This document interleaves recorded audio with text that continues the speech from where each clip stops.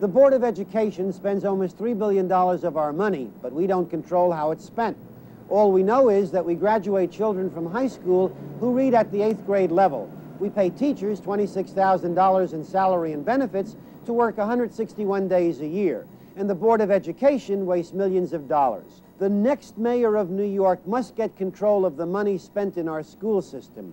And he must set higher standards for our students and teachers. We pay the average police officer $30,000 a year in salary and benefits to protect us.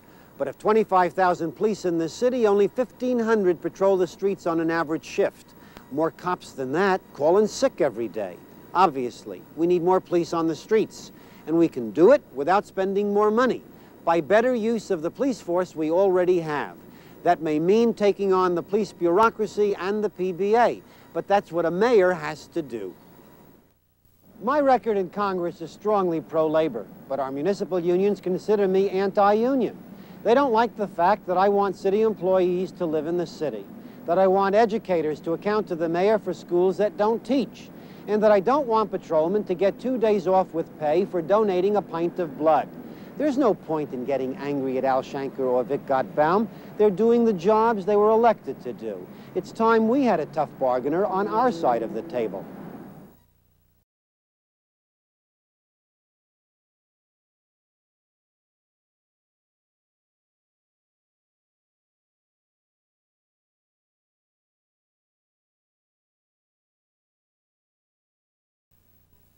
Some people thought that because there are so many diverse groups in our city, a candidate for mayor had to be fuzzy on the issues in order to win broad support.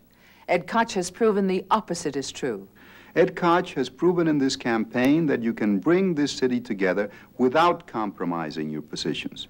I respect Ed Koch for the stance he's taken in this campaign, and I strongly support him for mayor. Ed Koch is the one candidate who has experience in both city and federal governments. He has the ability to bring them together to help solve our problems. That's why I'm supporting Ed Koch for mayor. No other candidate has this experience. No other candidate can really bring our city together.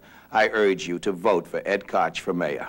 A man like Ed Koch, honest, independent, experienced, doesn't come along very often, and I'm proud to support him for mayor. Bringing people together isn't a matter of telling them what they want to hear. You can do it by telling them what they need to know.